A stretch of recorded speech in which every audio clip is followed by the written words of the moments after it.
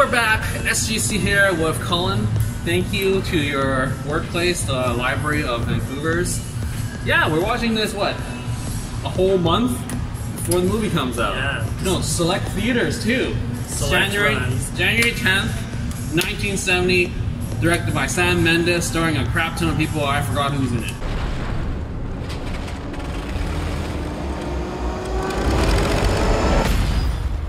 Who's in this? Benedict Cumberbatch, Colin Alright. Firth, But he's like, King you're probably gonna see him once. King. Tommen. I feel like you're gonna see the batch like once. Yeah, because I think this movie is what at least what I get from initially is that it's not.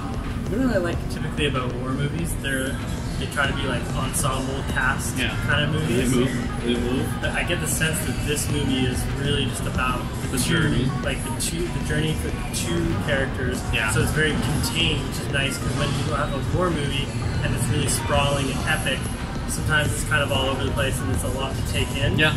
But if you have that really contained story, focused, tight story of just two guys making their way across the battlefield, Yeah, we across got. enemy lines, I'm, I'm pretty excited for it. Yeah.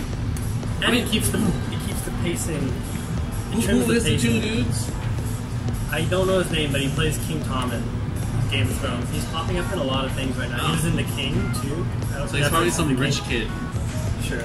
I don't know the other guy, but um, But yeah, 1917. Looking forward to it. I didn't know that it was fake one shot, so that's nice. But yeah, so this is like what uh, Birdman. Um, it's gonna be interesting because Birdman had a lot of corners. That's where you can do all your cuts. But here it's like you can do it in the trenches. But what are you gonna do when you're like out in the open? You know, like walk past a pillar, cut. I don't understand why. What is the what? Why? Why this one cut? I wonder if it's gonna lend itself well to it being a fake one cut, like I would want to know why Mendes was like, yeah, we should do it because we want to blow off money. Because this is much more expensive when you're doing like long shots. yeah, I don't know. It might be easier. I think it'll be easier to, to say once we see it. But um, Because I'm definitely sure that, not definitely sure, I'm pretty sure, mostly sure, that that running t- shot costs money. Like how many sh- how many takes can you do? Probably like maybe three. with all the stuff going on in the background. I know, and you don't know when they cut it in the beginning or after. So, so yeah, uh, yeah, I'm excited. This has been a long time where I've seen a movie this advanced, so that's nice. The last war movie, true war movie I saw was Dunkirk. Yes, Um, and yeah. I'm looking forward to seeing. Actual not that I have, Who wrote this? not that I have anything against Christopher Nolan's He can't movies. write, though. I like. Well, it's debatable. I don't know about Christopher Nolan's movies. I'm good with them usually, but I am looking forward to seeing a more straightforward plot. Oh, that's true. Dunkirk was just like this why. Is, this is a very clear like progression. It's a clear Yeah. journey of two characters across enemy lines. Yeah. Whereas Dunkirk, we've got the three different Five layer- hours, three three hours. like temporal Wow. layers, and yeah. So I'm hoping that it has the same focus and pace as, but the same like level of tension as Dunkirk. Because I I was like really sweaty and I tense watching Dunkirk. Yeah. Um, I really felt that the actions and the events happening around the characters. Uh-huh. So I'm hoping I get the same thing from this, but to an even greater degree because of how It's shot. how it's shot and how and what the, where the focus is. Yeah, so it's like I think it really, like those two guys gotta gotta really carry the film. It's like if they're Yeah. not engaging or they're like kind of like, eh. Well, and there's going to be, you know, it's I think it's the type of performance performances too where like there's not a lot of dialogue, right? Yeah. They, they'll probably have dialogue between them, but uh, it'll be a lot of Yelling. a lot of yeah, facial yelling. expressions. a lot of facial like silence, uh, like real emotional silence. So I'm looking forward to. it. They're two young guys, so it's gonna be Living good. life. You just sprinkle in a little bit of Benedict and a little bit of Colin Firth and probably other people. Andrew Scott is in it, so. I Uh, don't. I also think like because this is World War One, so it's it's kind of like a change of pace. Yeah. Compared to all those I've seen a World War lot of World War II movies. stuff. Yeah, I am excited to see World War One with like the weapons and uh, even that one shot from the trailer where they're like it was edited to the sh- the sound of the old like rifle shooting. Right, right, right. I enjoyed that. Yeah. It made me think of Call of Duty World at War. Oh, that was that was. That was my favorite one. So So, anyways, we've talked enough. We uh, have expectations, but we're being we're just we're just excited. I'm excited. I didn't think I was going to get to see this movie for a long time. So I didn't even know it was coming out next year. And it was between this and Queen and Slim, which was a big toss up for me. I don't know. Now, after with reviews of Queen and Slim, I think we know more. But anyway, so that's it. Uh, yeah, this is before, and this is after. Wow. Before I forget to bring this up, um, holy crap, Christy Wilson Carnes, Kearns, um, great resume. Because like you're working with Mendes, and then now you're gonna go off with uh, Late Night in Soho with Edgar Wright. Like holy! So that's out of the way. So good job on that. Definitely gonna be on the lookout for whatever she's gonna co-write or whatever. But yeah, so 1917. Um, is this based on a true story? You'll find out. And I think that's a really good tidbit of not telling you if it is or not. It's the thing that keeps you tense. Because I always hate those like inspired by true stories. So you're like, oh, it's going to end somewhat positively because someone had to tell the story. But yeah, uh, yeah, definitely. I'm so glad we caught this on the big screen. I swear, if this was on IMAX, I would go again. Yeah, yeah. Seeing this in, in AVX or like the biggest format that you can possibly see it in is definitely the best choice. I would see this in IMAX again. Yeah. It'd be really interesting to see that. Too bad we have lame ass Richmond IMAX. You gotta sit closer to feel bigger. Um, yeah, so the two boys delivered. We got one guy, um, Schofield, who is from Fanta- Captain Fantastic, great movie. You see that? And then we got King Tommen. He was pretty, pretty, pretty good too. And yeah, I think like what we were talking about before, they delivered like two, two, two dudes. You, you you get somewhat emotional attachment to them. They drive the story beyond just facial expressions. You really see their like friendship and, and there's a lot of stuff that goes down and, and definitely props on both of these dudes. And I definitely will look out for what's his face, Schofield, like whatever he's doing next. Yeah, he's I'm- like he reminds me of that Dunkirk silent dude. Yes. Like that killing, he goes on and goes does like killing of the sacred deer. Oh, yeah, Yeah, Yeah, I would give him extra props for his performance because he, I mean, after a certain point, he carries the film.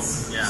um, and he's the central focus, and he, yeah, he kind of runs with it. Literally. He has a lot of, yeah, he has a lot of, um, he has a lot of powerful moments, emotional scenes, um, and he has, he goes through a lot in a relatively short period of time. So, um, with very little dialogue, um, all the characters movie, but especially Schofield, Yeah. really, really, really delivered a really nice performance. I think like with the writing, uh, Mendes and uh, Kathy, Catherine, Chris- Christy, I think they set up a lot of things. Like with his character, his reluctancy to go on this mission, and then just like, okay, you set him up, and man, he has to start reacting to his surroundings and reacting to the reality of what's going to go down. And then props on all the cameos. We got like what five? We got Colin yeah. Fife, Mark Strong, Colin Firth, Mark Strong, Yeah, Benedict Cumberbatch, Andrew Scott, and uh, Richard Madden. It's a good job A couple on. Game of Thrones, uh, Game of Thrones reunions, Is it though? King Tommen, and uh, But then Mas Madden died before he grew up. Oh, whatever. But yeah, like props on that. I think the writing is really great in terms of the fact that they wrote it for them. I feel like they cast it really well. Uh, yeah, like it's like what you expect from these guys. I mean, granted, Cumberbatch can play anything, so yeah, I feel like all those actors you can just drop into a role like this, and like you just know that they're going to deliver that sort of thing. I mean, Colin Firth scene, half of it he's not even on camera. yeah, Like the camera's facing away from him, you just hear his voice. yeah. Um, but still, he's Colin Firth, so he knows how to deliver his lines. Um, yeah, performance-wise, there's no, there's not really a fault in the film. Like you were saying, the um, well, so the one thing about all the performances are good. Yes, that's good. Uh, one important thing for me is that when it was just two characters, or even better, when it was just Schofield, the focus is so tight on those characters. Once you start adding, I felt that once you started adding in more characters, you're to say Liu, in the back of the uh, cargo van with Schofield and the Irish soldiers, the Sikh soldiers and whatnot. But props on the Sikh soldier. yes, good to include the Sikh soldiers um, not having every And he actually had lines. yeah Like- significant ones. Yeah, I was actually surprised. I thought they were gonna throw him in, just be like, here's some background cast. Yeah. I mean, they did do that with the black guy, so They could have easily whitewashed. Whitewashed everybody because So it's like, and, nice. you, and, and you wouldn't have said anything. Yeah. Like if you whitewash everybody, it would have been historically accurate because you're like, who cares which like truck he gets on? So, you know, once we start adding in the other characters, I lost interest in those. Not lost interest in the film, but I was less interested in those scenes than in just the focusing on the journey of the two characters just Schofield. You said the same thing with the French woman and the child. Because I think for me with the French lady, um, it's, it's it's due to the fact that we've seen so many so many films. Because you, you know, cinematic cine, cinematic time runs not real time. So like their exchange but like like someone just chopped it up really badly and threw it together because it's so short. But like when you consider it in a narrative aspect, I'm like no, he needs to haul ass to get out of And there. I actually was worried for a moment when they had that really like tender scene. Yeah. I actually was worried that they were going to like Make out.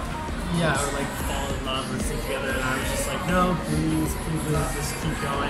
It's like going. you have a mission, you have quarters, you have to keep going.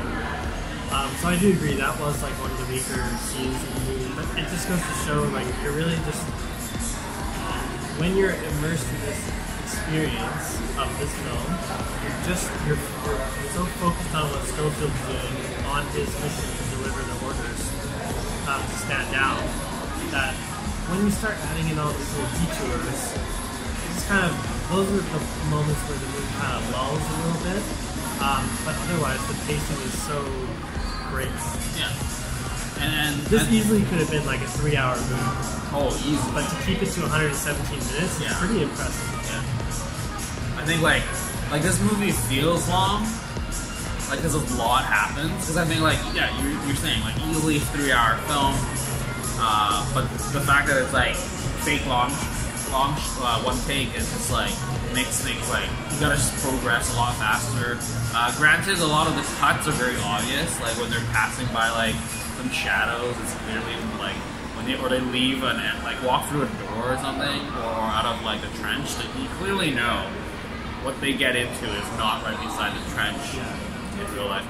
And I think going back to your point of like the Schofield aspect of things, I think like what we were talking about before was why is this one cut? Like, does it add to the thing, the experience? And I definitely say it does because I feel like if you edited this, you would have been observers. You would just witness that this happened.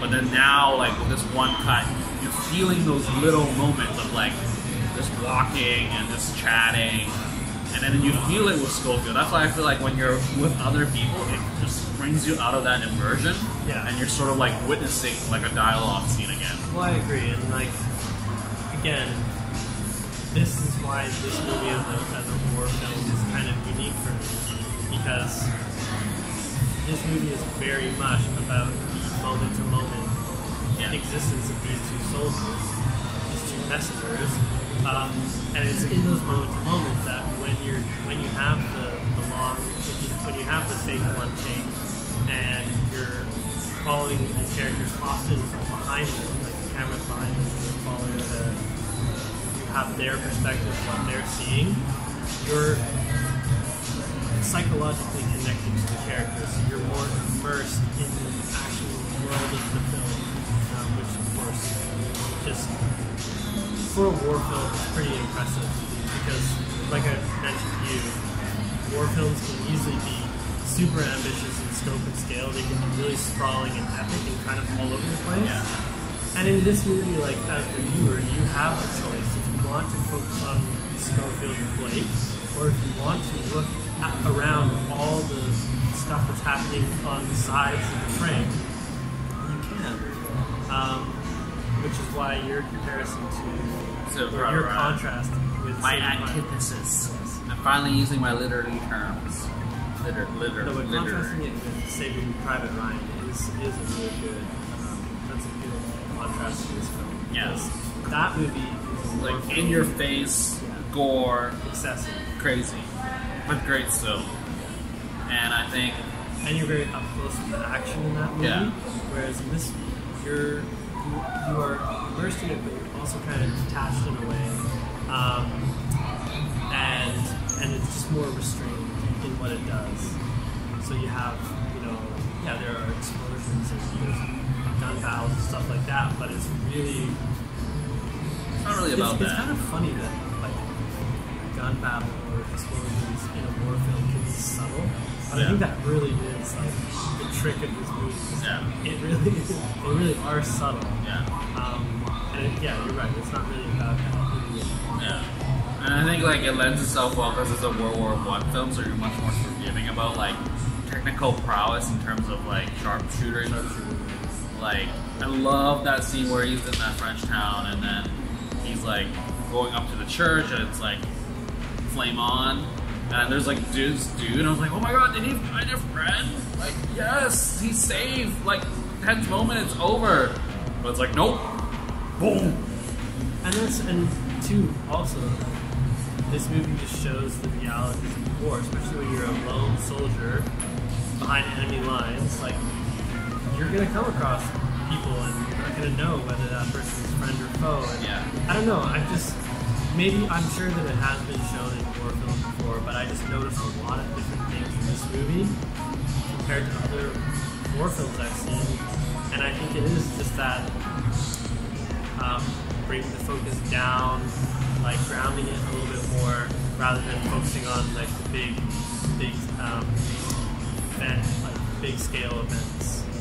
Yeah. And that, and I even like like the war stuff is subtle, but I think the character growth is very subtle as well. Because like we have that you know a heart to heart moment about going home or not, and then the movie ends in that way, and I feel like okay, like it, it concludes that in a way where it feels natural that he's done. Now he thinks about this other stuff, and I feel like that growth is not like in your face, like it's not like you know party hard hard war is great or like let's all be pacifists like there's no like it's not it's not leaning either way. It's just telling you like it's hard.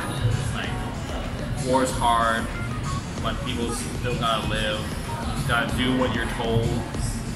Yeah yeah. And one thing I'll say is, one thing I appreciated about this movie is that just on, on like a symbolic level, you had the uh, beginning, the opening shot. They're taking a nap in a field of flowers. Yeah. The wild, the tall grass, the Yeah. flowers, right? They're leaning up against a tree.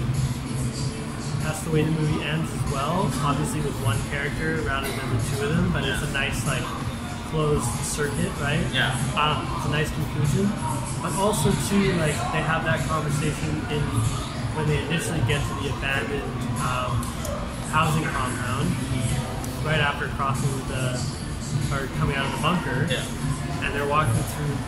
All the cherry trees are chopped down, Yeah. right? You have all the cherry blossoms, which again he sees when he's floating down the river yeah and he kind of that gives him the reminds him of his friend, gives him the motivation to like keep going, go. you know.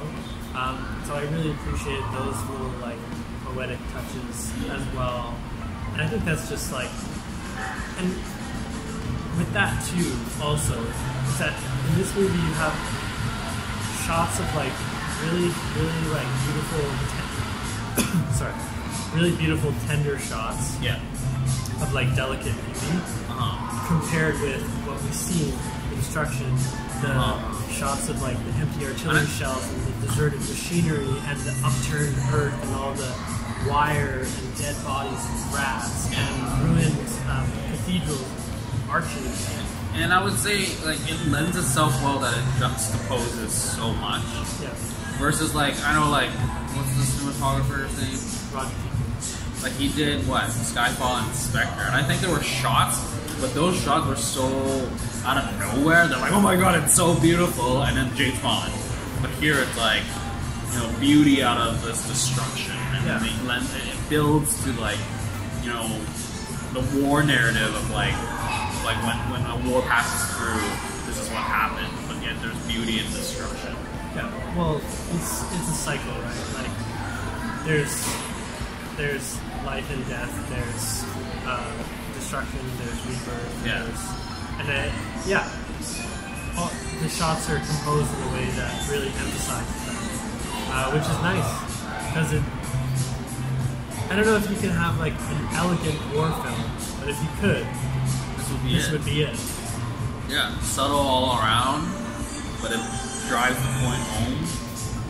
And uh, simple story, but yet it still has its complications. Simple story, but it's effective and it's and it the tension is maintained throughout, right? Oh yeah. So Oh yeah, I swear, like when they first left and it was two, and I was like, okay, someone's gonna get shot, and they start using like these generic shots of like other war films where someone's gonna get shot.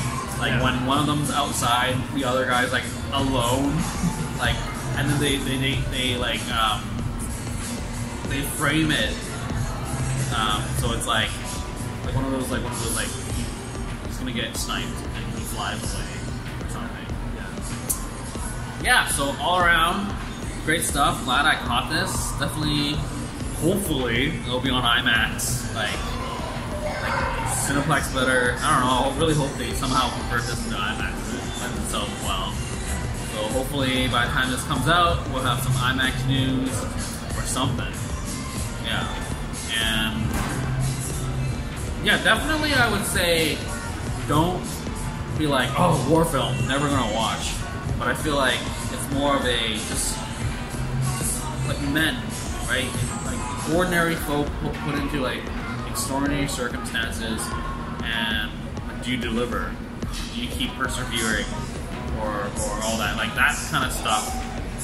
And I think it is different. The fact that they told a World War One film, World War One story, in the midst of like you know thousands of World War II films that you would only remember. Like I don't remember the first time. I don't remember if I've seen a World War One film. Yeah. Been, yeah, I can't think of one off the top of my head, so, I don't think I've ever seen. Yeah. So I think it's actually like that going back to um, historical accuracy, like seeing the Sikhs around or the black people, and or like how um, like you know shooting from the hip, you miss all the time, and it's like totally acceptable. Like it, it's like that. It, like you were saying, it's subtle. Like the tension is still there. You know he's not gonna get shot because of like you know narrative circumstances, but at the same time, you're just like, oh, dang, dang and, and and the way it's shot. Oh yeah, the soundtrack. Holy crap, the soundtrack. Yeah, the music was great. The music was great. Like it really lends itself well. It was like a natural like thing. Like It you were feeling it already, but it they was- just like it bring was- you more. It was quiet in the appropriate moments. Yeah.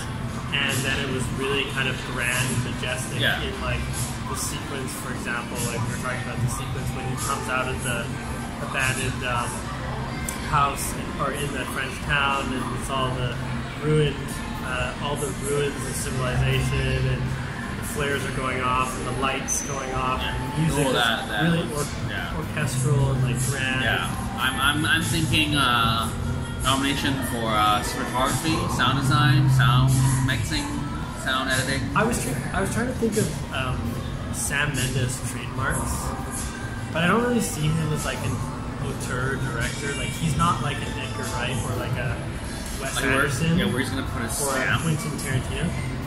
I don't I don't know what his like stamps are, if or if he has any. But every movie I've seen that he's made is just like a deeply affecting. It's like a deeply effective, emotional, personal movie. Like all his movies feel kind of poignant, That's like. Snap. So even and like he, he brought that To Skyfall and he brought that to James Bond. So Yeah. like kudos, right? But yeah. Well, anyways, um, glad we caught this. What's next? Yeah, Mendes, keep going. I wish he put out more films, but he's only done ten. Yeah, maybe it's uh, time to go back and rewatch the stuff. But yeah, so we uh, basically watched this a man to man's. It's like a month and ten days. So thank you.